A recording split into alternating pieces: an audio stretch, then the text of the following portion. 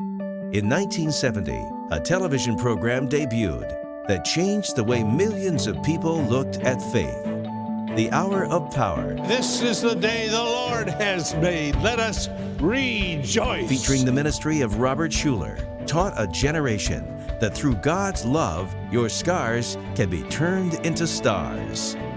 It was an idea that launched the most popular inspirational television program of its time. And today, the Hour of Power continues with a new voice for a new generation. When you put your trust in God, nothing can stop you. Pastor Bobby Schuller will encourage you and share a message that can give you a new perspective on life. Because whatever your circumstance or the obstacles you face, this moment can be your hour of power.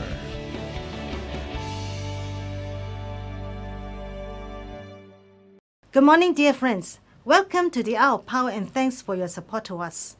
Our program is bilingual broadcast. If your TV is equipped with NICAM facility, you can choose to watch Hour of Power in original English or Cantonese dubbing. In 2 Corinthians chapter 6 verse 16, For we are the temple of the living God, as God has said, I will live with them and walk among them. I will be their God, and they will be my people. Today, the message of Pastor Schuller is We are God's temple.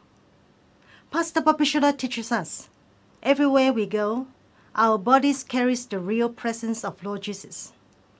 He intends to live in us, so we have to go through hardship that help us to develop us as God's temple. For we are the temple of the living God, as God has said, I will live with them and walk among them. I will be their God, and they will be my people.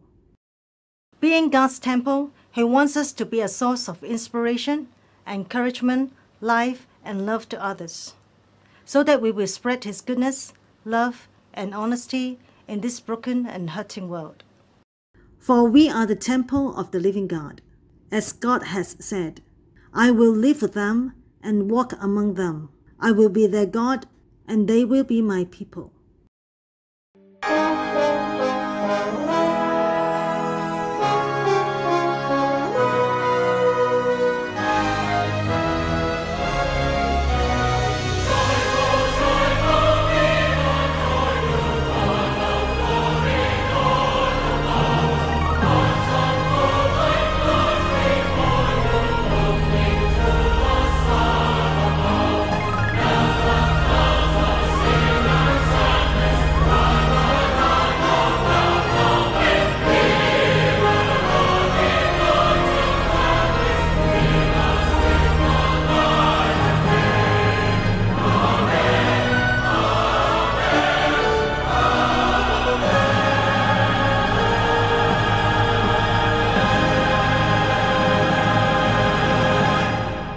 Is the day the Lord has made. We will rejoice and be glad in it. Good morning.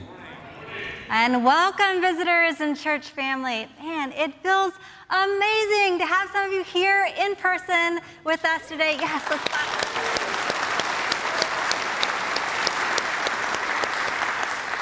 Kaylee and Connor, it's good to see you.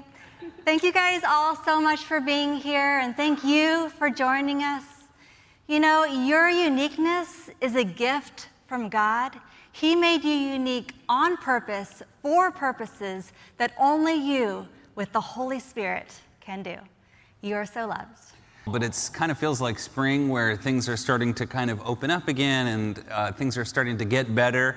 And I certainly hope we get that experience here at the church, that everybody, you know, starting to come back. We only have 100 people in the building right now, but it's a great just first step to sort of regaining some of what we had here before. What we've, we haven't lost, but it's just so nice. There's something different, I realized in the last service, about the building full of music. Like there's something awesome about that experience. Even from a preaching standpoint, it's so useful. You are so cute, just always looking at me. I love you so much. You're so great. Well, anyway, we're just so, so glad that you're here. Let's begin with a word of prayer. Father, we love you. We thank you so much that you have called us into your house. And we pray for everybody, whether they're in this building or in the courtyard or the fellowship hall or watching in their car or watching on the other side of the planet for those in China and Australia and Germany and Netherlands and all sorts of places. Lord, we are gathering together because we love you, we love each other, and we ask God that your Holy Spirit would bring a sense of peace and victory during this very difficult time for so many people. We put our trust in you, God. There's no other place we can put our trust. We put it in you. You've carried us this far, and we thank you. It's in Jesus' name we pray. Amen. Amen. Turn to the person next to you and say, God loves you, and so do I.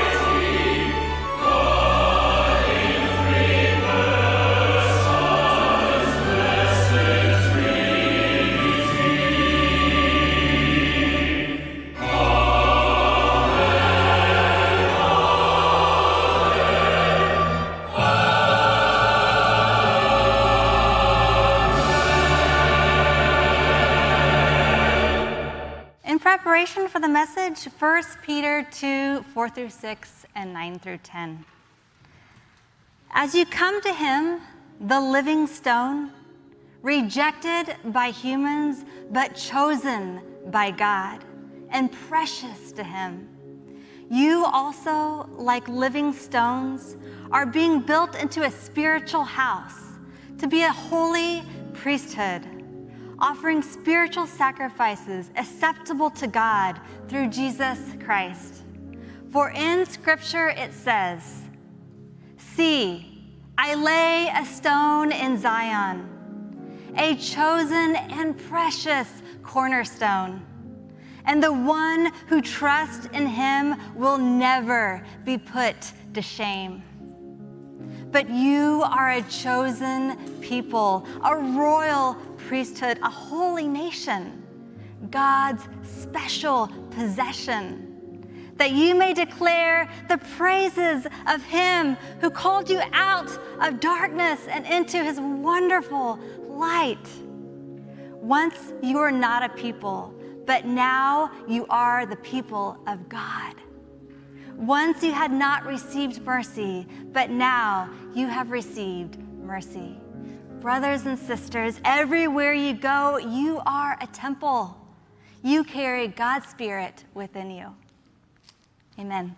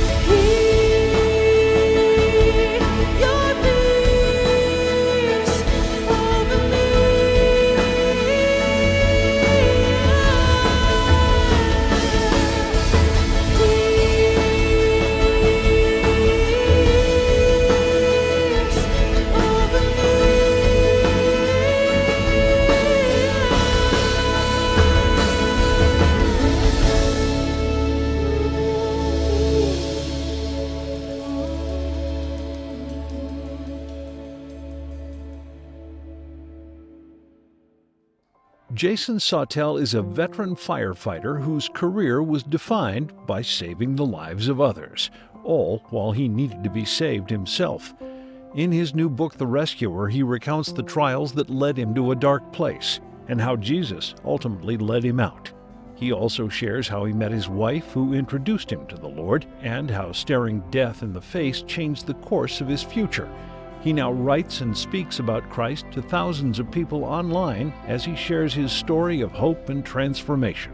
Please welcome Jason Sawtell. Jason, hi, welcome. Thank you so much. Thanks for being here. Uh, thanks for having me. I'm just all fired up after hearing your worship team and a couple cups of coffee. So uh, I'm excited to be here. Thank you well, so much. Thank you so much for what you do and all the firefighters around the world have, have done. We're appreciative of it.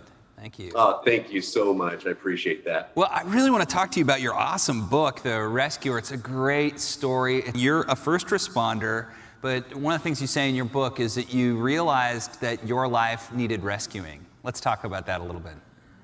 Yeah, you know, as a firefighter, you go out the door, meaning you will leave the firehouse to go on responses sometimes 15, 20 times a day. And you're going out constantly helping people when they're at their bottom and they need someone to rescue them. So you show up and you want to help them and you want to provide them with the care and the love and compassion they deserve. But part of that emergency attaches itself to you. And when it does, it starts to weigh you down and it's a Yeah. burden and it just hurts. And you go back to the firehouse. And even though you're still not on the scene, that scene is inside of you. And it's just a lot of work. And it, starts to really get you, get you at times. But imagine if you were on that fire engine and it's two in the morning and you pull up in front of a house and there's just flames coming out of it and there's people screaming that folks are trapped inside and maybe you can even hear the screams of the people inside and it is your duty to go in and save them it just really really tears you up on the inside that you start thinking what about one minute sooner what if we would have done this differently Yeah. And it's a really can be tough at times you know so i like people to think about it from that perspective so they can really get a feeling of what it feels like fighting fire and that's why i added those scenes to my So book it's like you almost feel like it's your fault, even though it's not. You start to wonder if I just been there a second or just given a little, like an extra 10%, would I have helped that kid? And you've actually Right. had even kids die, right? I mean, there was one case where someone died and you had this conversation with your wife, and that was a big part of your like salvation story, right? Yeah, it was really tough. So prior to me becoming a Christian, it was really hard for me to open up about my job because most people couldn't handle what I was struggling with. Well, when I met Chris, Christy, who is a Christian, That's she your brought wife. something different into me. And I was able to talk to her about, we had a little girl who was injured in a car accident.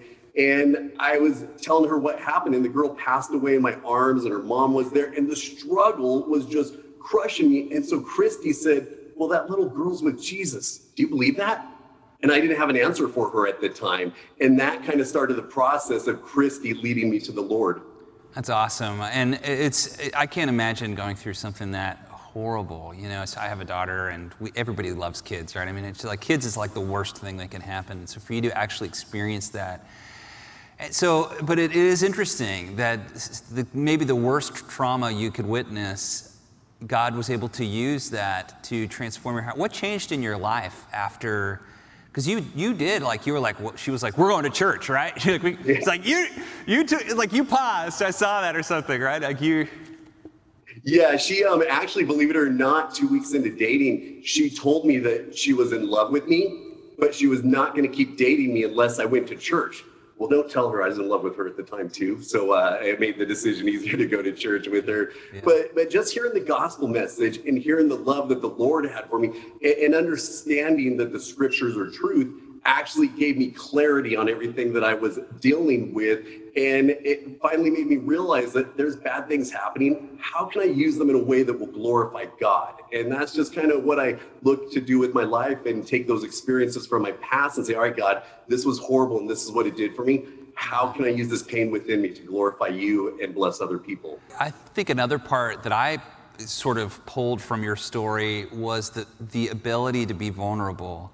Like it seemed like coming to Christ allowed you to be humble and not just have to carry everything yourself and be able to like tell your wife, this wrecked me. This was, I, I'm not going to sleep well tonight. This was, this is bugging me. And Seems like that's a big part too, is, is when you find your identity in the Lord, you're able to get some of that empathy by being honest about something that's bugging you.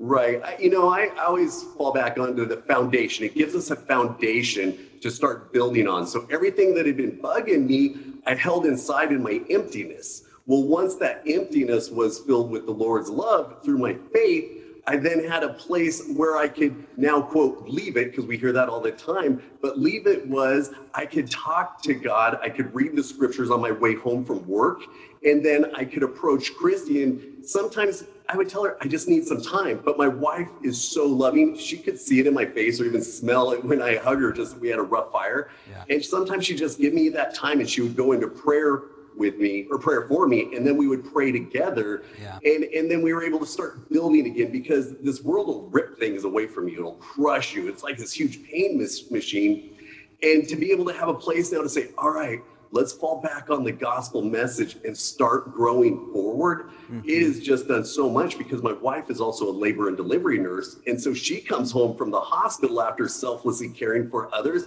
and it's the same process. I can see it in her eyes as something happened. And now we have a place by having a Christ centered marriage, a Christ centered life to start building forward.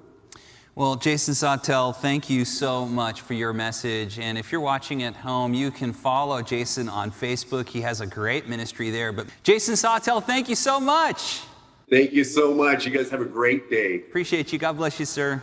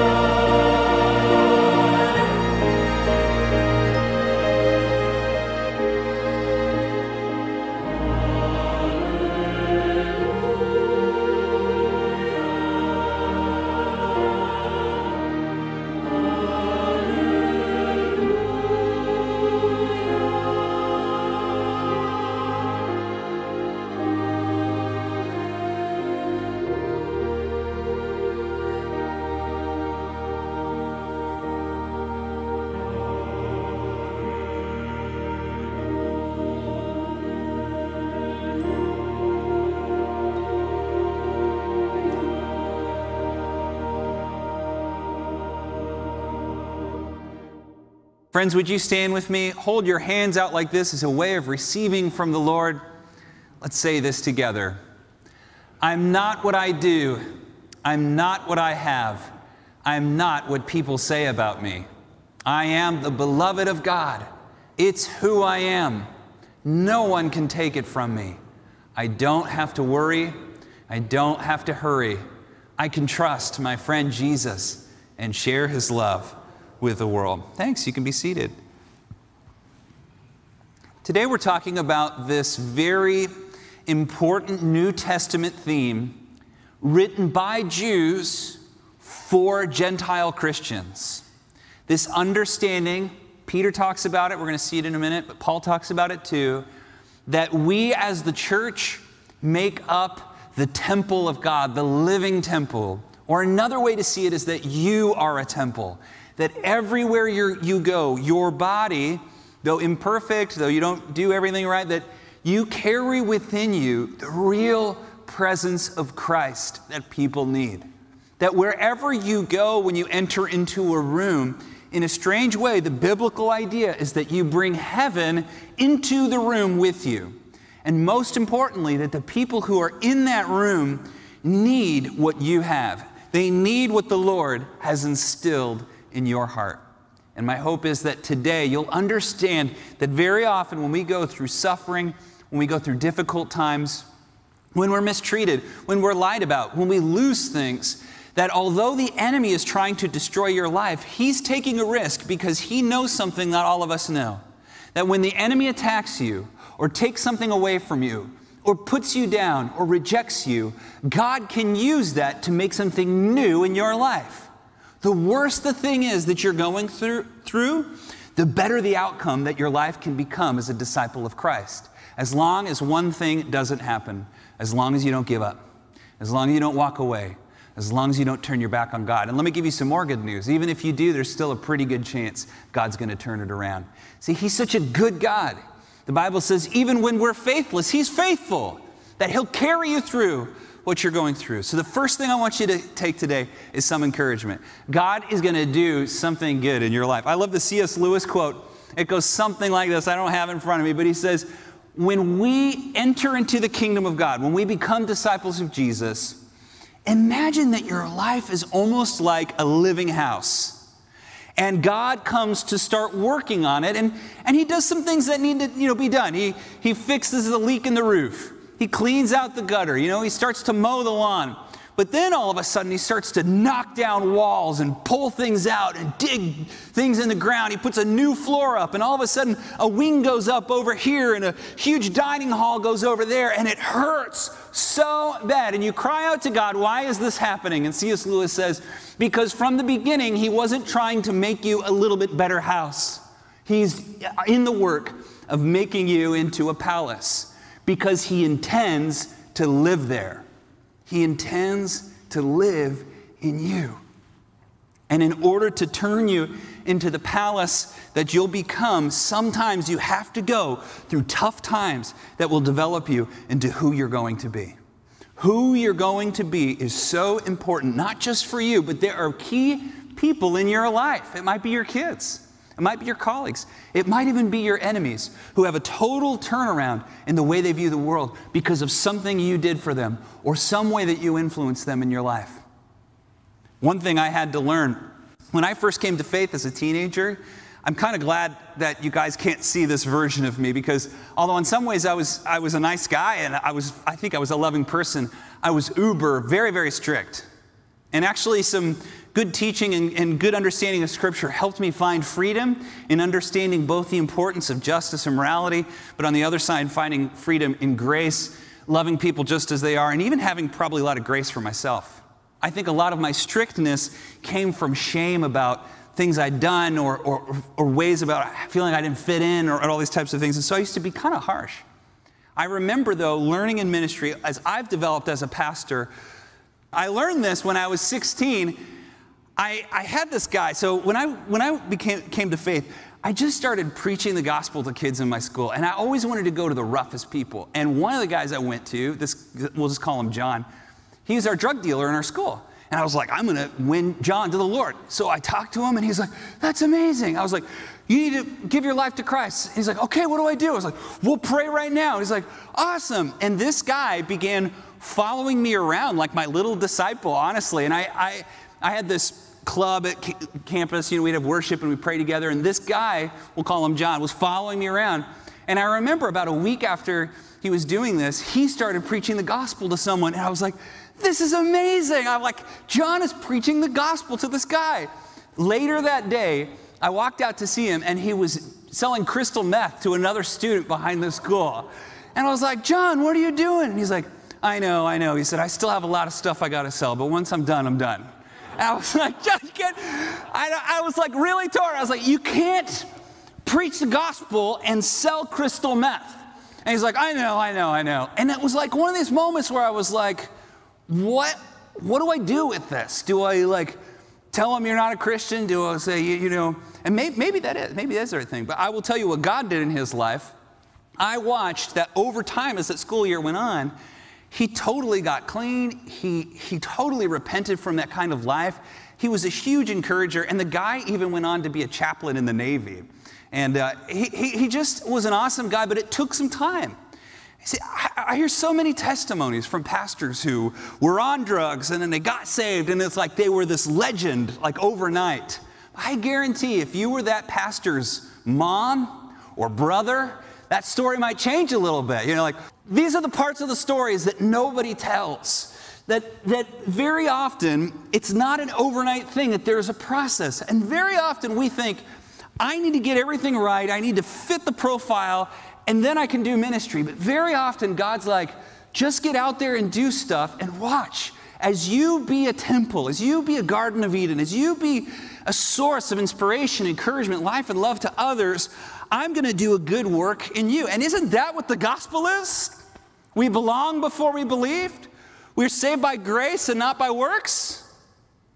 And I can tell you that if you wait until you're perfect to help your neighbor, if you wait until you're perfect to pray for someone that's crying, if you wait until you're perfect to reach out to your neighbor and help them, you're never going to do it. We have to understand that right now, even though we're flawed and we're not totally sanctified and we've got these things and whatever it is, maybe you've got skeletons in your closet that need dealing with. Maybe you have some addiction you're working on.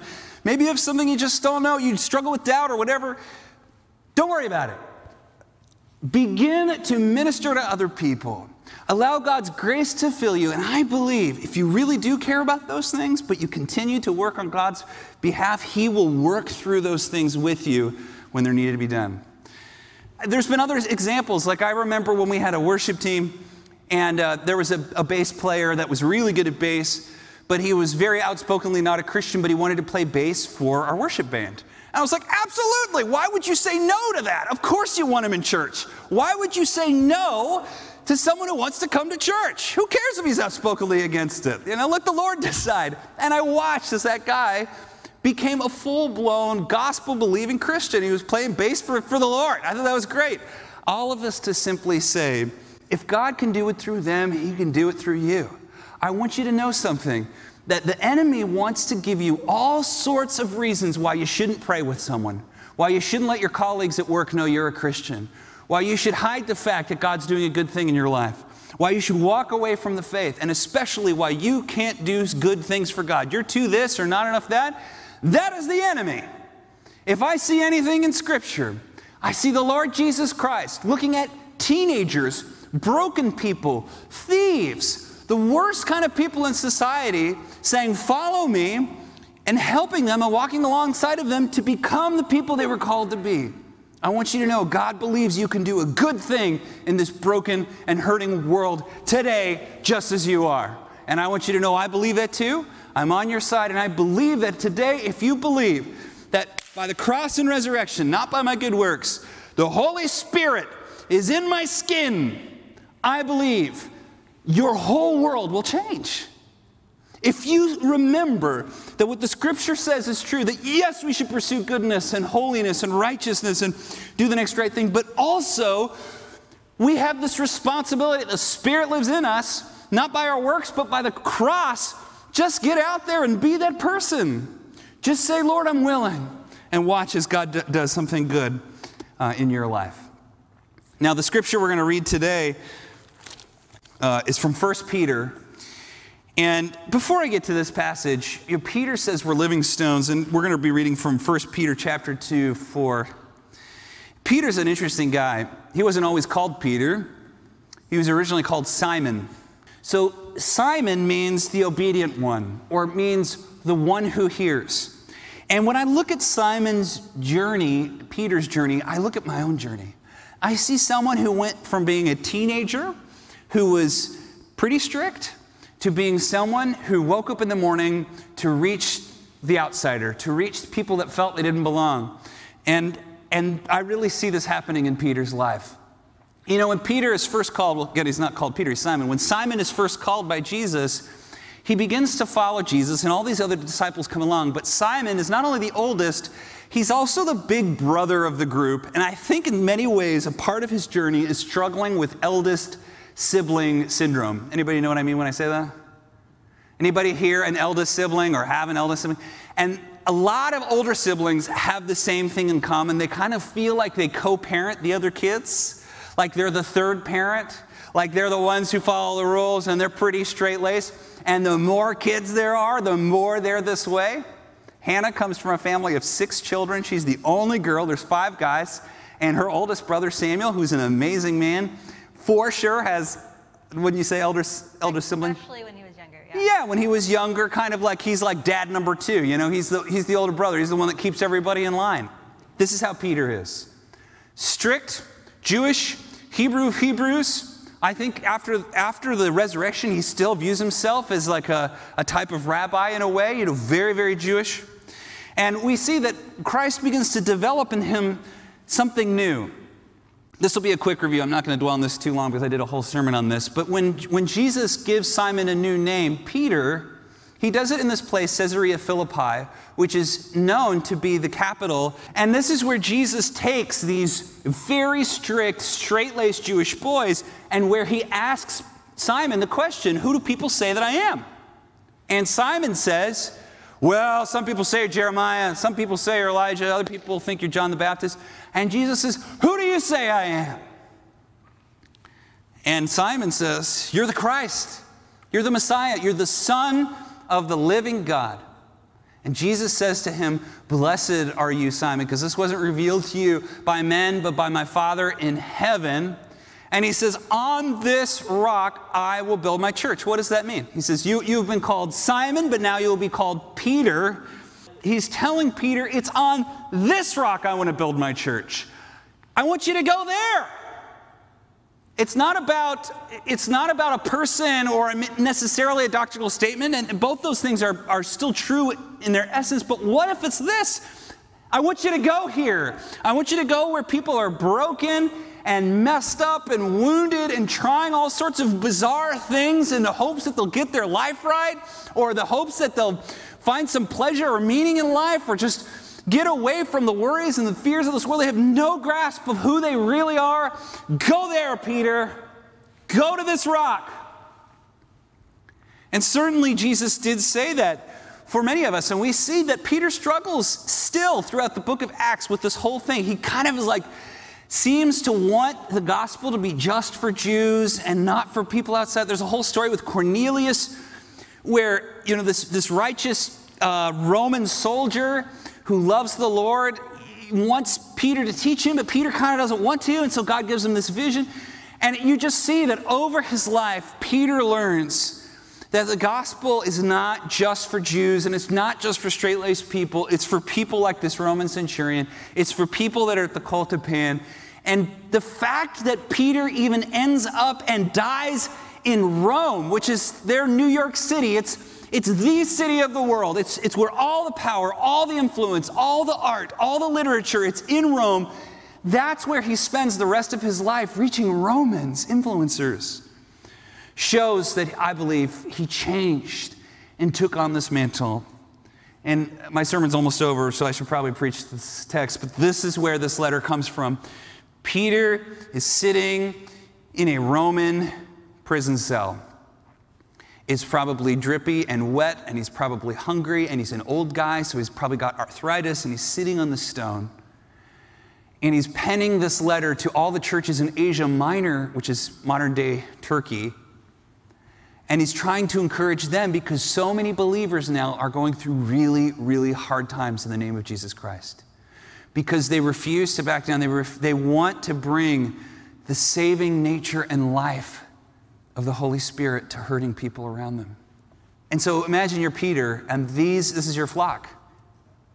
These are your families. These are Roman people that you brought to the faith or people you invited to come to Rome to do ministry with you. And you're like, how do I handle? It's hard to understand for a pastor. You know, pastor, pastor means shepherd, the word pastor. Doesn't mean priest.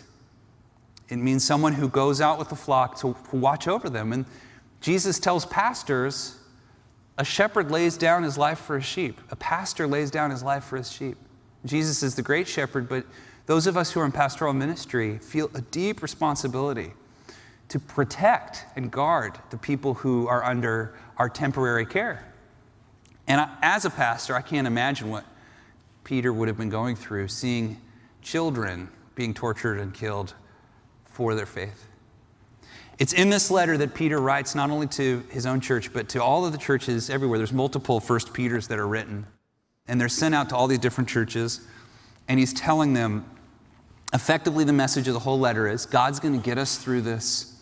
He's going to carry you through, and never forget, and this is the message for us guys never forget that the enemy wants to keep you from becoming who you're supposed to become.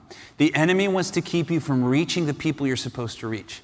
The enemy wants you to get you into a place where you're so beat up and so messed up and, and maybe locked in self pity or just grief and heartache that you, you can't help people anymore. That is the perfect place where the enemy wants to get you. But Peter is telling, I think even himself, that, that God is going to use this to change everything. And he tells them, You are living stones. Meaning, like, wherever you go, you are living stones. Let's read it. As you come to him, the living stone, that's Jesus Christ, rejected by humans, but chosen by God and precious to him, you also are living stones and are being built into a spiritual house to be a holy priesthood, offering spiritual sacrifices acceptable to God through Jesus Christ. But you are a chosen people, a royal priesthood, a holy nation, God's special possession, that you may declare the praises of Him who called you out of darkness and into His wonderful light. Peter wants those who are suffering to press on, to keep going, not for themselves, but it, it, will help them, but not just for themselves, but for the people that need them. And again, this is what the Bible says. The Bible says that we're like, like little temples. For a Jew, that's a big deal. To say you're, you're a temple? The temple imagery is rooted in the Garden of Eden. Did you know that? The Garden of Eden. Remember, it's interesting when you read Genesis. I think many of us as believers who've read the Bible our whole lives, we think the whole world was the garden, but it clearly isn't in the Bible. In fact, it says that when God created the world, that most of the land was kind of desolate. Or maybe that just means the land in the Middle East, I don't know but that God placed, and it sounds small, a garden in that place. And it specifically says near the Tigris and the Euphrates. And Eden and the garden are different places. There's a thing called Eden, and then there's like a garden around it. It seems to sound like Eden is actually a water spring, or maybe a, a building, or a house, or a place. But there is this thing, Eden, and then there's a garden around it. And this is where Adam and Eve are placed. And they walk through the garden with God. And they're fulfilled and they're full of life. And, and they're doing all of this, this great stuff. Can we have a picture of this one artist rendering? You can see all of the plants and things, the cherubs that guard the entrance to the, to the garden, Eden itself at the center where the Holy Spirit flows, rivers of living water. And then the menorah itself is supposed to be a symbol for the tree of life, the thing that gives life to the whole earth. And the principle of the temple or the, is like the temple is like the Garden of Eden. Or maybe the temple itself is like Eden, and what's around the temple is like the garden. In other words, it, these are places in a desolate earth that bring life and green and water and freshness and hope and growth and goodness. And, and that's what the temple in a Jewish context is supposed to be. When Peter and Paul say, You are the temple of the Holy Spirit, it's literally like you're supposed to be these little temples that everywhere you go, there's like a blossoming around you, life around you, hope, encouragement, goodness. Don't let anyone try and convince you that you can't or shouldn't be just exactly that. If you hear anything I say today, it's this people need you. With all your imperfections and all your flaws and all your baggage and whatever it is, join a club. We all have it. You know, some of us are just better at hiding than others. People need the hope that you have to offer. People need the, the friendliness, the kindness, the love, sometimes the confrontation, sometimes the honesty that you can bring in a loving and godly way. I think we're going to be so tempted as things go on in this world, and sometimes things will get harder, and sometimes th- challenges will come to focus so much on me that we forget that there are people like sometimes it's just your spouse, sometimes it's your kids, sometimes it's your neighbor, and sometimes it's your enemy. That we forget that these people, they need you. And most of all, let me encourage you. Maybe you've messed up. Maybe, maybe during COVID you fell back into some old coping mechanisms. Maybe you're feeling guilty about something you did or something you went through. I want you to know not only are you forgiven, God is so proud of you. He loves you. He's on your side and He's doing a good work in, in you. And I want to encourage you and give you heart to remember look at your hands for a moment, would you? Look, literally, look at your hands. These are the hands of Christ. That is that you're not Jesus, but but Christ's spirit is underneath the surface of your skin. Imagine when you pray for someone that the same authority of Christ, not by your, your righteousness, but by his righteousness, that, and not by your faith, but his faith, that, that when you lay hands on someone to pray for them, that it's like Christ himself is praying through you. Isn't that an honor? What a privilege it is to know that everywhere you go, you're like a temple. That, that it's like this Garden of Eden, it's just going to emerge around you. So much of it is actually just believing that it's true. More than anything, I want you to know maybe you haven't made a decision and you don't have that life in you and you want it. I want to encourage you today to make a decision to follow Christ. I want you to know that God doesn't call, He doesn't call perfect people. The biggest reason people leave church is because of some sin or something in their life that they're embarrassed about. I, I, was, I always think that's so sad because the more you're struggling, the more lonely you feel, the more messed up you feel, the more you need to get into a good church community. So make that decision today. But most of all, whoever you are, I want you to know God wants to use you today. In fact, I'm just going to believe that as you folks, friendly folks here, leave the church building, or when, when you turn off your TV set, or you turn off your phone, or whatever it is that you're watching, that there's going to be an opportunity today or tomorrow to help someone to be the light of Christ to that person.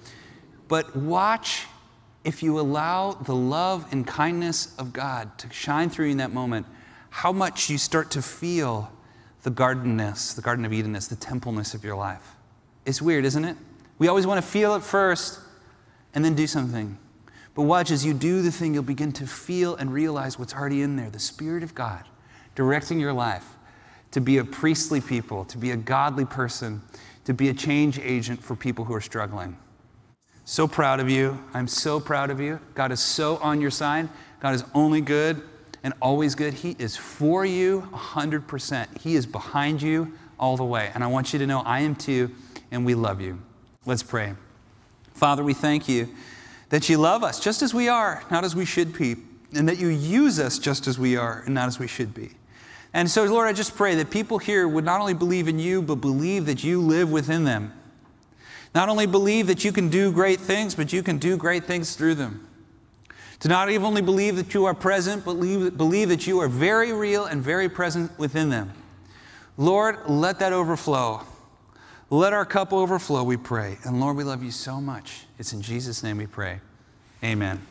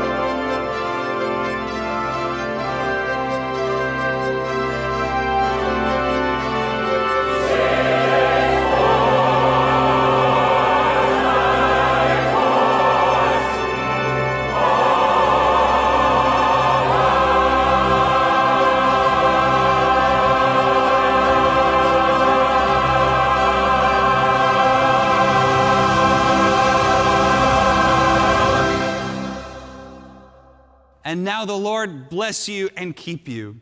The Lord make his face to shine upon you and be gracious unto you. The Lord lift his countenance upon you and give you peace. In the name of the Father, and of the Son, and of the Holy Spirit. Amen.